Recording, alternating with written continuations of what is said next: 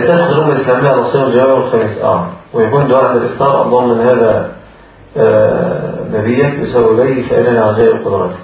من أجل محمد صلى الله عليه وسلم. يعني الغيرة مطلوبة.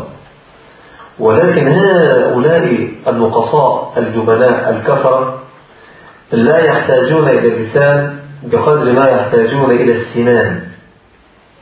لا يحتاجون إلى اللسان بقدر ما يحتاجون إلى السنان. فلو أن ألسنة المسلمين وكلماتهم تحولت قطرات لكانت كلماتنا بحارا تجرف ولو تحولت إلى ذرات لكانت رمالا تجرف ولكن كلامنا كغثاء في سيل كهباء في ريح. لا قيمة له الذي ينبغي أن ندعو عليهم وأن نقاطع منتجاتهم وأن نشجع أنفسنا أن نتقوى بهذا الدين وأن نتربص بهم إلى يوم يرون فيه حرر الإسلام وسنانه. ده ما ينبغي أن يكون.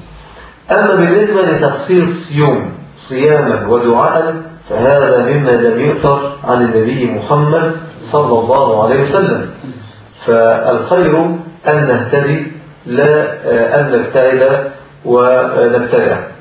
فهذا الكلام طبعا فيه حماسة وفيه رغبة وفيه حب النبي صلى الله عليه وسلم. تكل عليه الرأس كلام جميل ويعلم الله عز وجل أن القلوب تتفطر واللسان لو يستطيع أن هو يمزقهم إربا إربا غضبا لنبينا محمد صلى الله عليه وسلم ما تردد في ذلك أبدا. ولكن لا ينبغي أن نتقرب إلى الله تعالى ببدعة فاقتصاد في سنة خير من اجتهاد في بدعة.